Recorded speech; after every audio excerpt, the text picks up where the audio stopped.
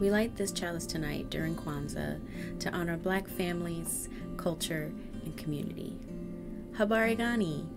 What's happening? Nia. Purpose. I have on countless occasions recounted the story of my path to Unitarian Universalism and my initial visit at a Unitarian Universalist church. Having stumbled onto this faith saved my life. I wandered aimlessly, untethered for years, lost spiritually and without an anchor. All the while, knowing deep in my soul that I needed both spirituality and religion.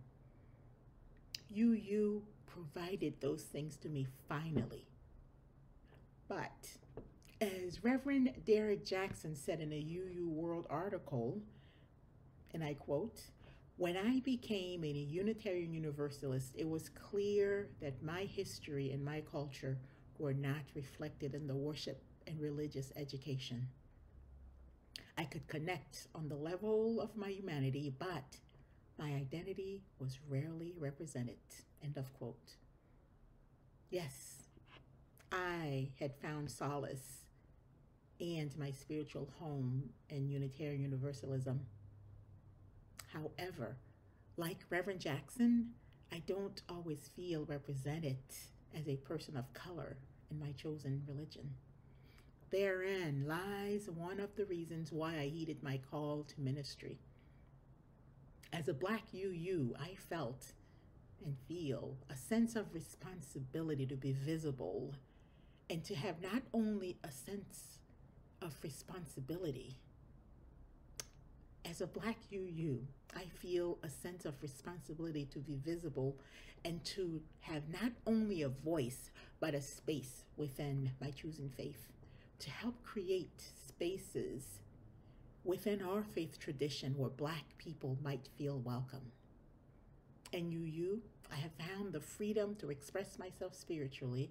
At the same time, I have the desire to be in religious spaces that feel inviting to people of color, to Black people. Reverend Jackson continued in that same article and said, at this point, our needs as people of color are broader than our faith can fulfill. But I hope that we can live into our stated dreams and be a faith that is open to diversity in both word and deed, and that I am able to bring my full self, my spiritual, worshiping self, into our faith. Hmm. I want to be a part of making that happen. The fifth principle of Kwanzaa, Nia, or purpose, encourages us to make our collective vocation the building and developing of our community in order to restore our people to their traditional greatness. Mary McLeod Bethune said, The progress of the world will call for the best that all of us have to give.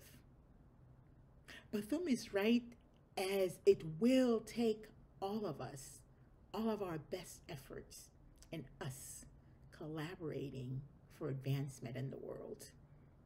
And that has always been the case. That's just what it is. It's going to take all of us. It's going to take we us including in the work that we do in our vocation working to bring our community together and for the advancement of the world in general. No one is an expert at everything, just as no one person is a failure at everything.